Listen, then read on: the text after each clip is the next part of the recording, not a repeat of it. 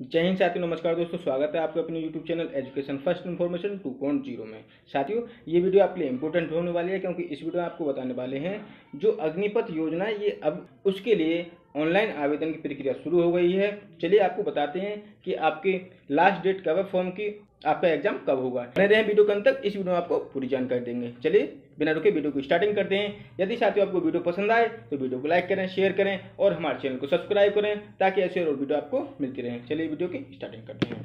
अग्निपथ के लिए परीक्षा चौबीस को, यानी अग्निपथ परीक्षा के लिए जो आपकी परीक्षा होगी, वो चौबीस जुलाई को होने वाली है।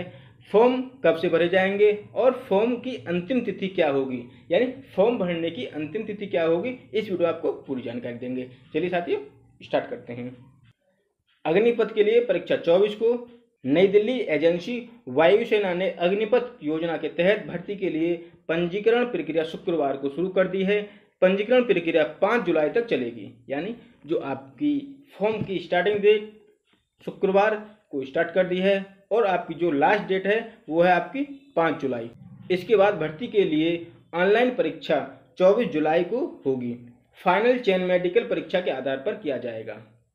फॉर्म की स्टार्टिंग डेट आपकी चौबीस जून से फॉर्म स्टार्ट हो गई और जो इसकी लास्ट डेट है, वो आपकी पाँच जुलाई फॉर्म भरने की लास्ट डेट है। पाँच जुलाई की आपको फॉर्म भरने की लास्ट डेट मिली है और जो आपकी परीक्षा होगी, चौबीस जुलाई को आपकी परीक्षा हो जाएगी। चलिए साथियों यहीं तक। यदि वीडियो पसंद आई हो तो वीडियो को लाइक करें, शेयर करें, हमारे चैनल को सब्सक्राइब करें, ताकि ऐसे और वीडियो आपको मिलती रहे। धन्यवाद साथियों।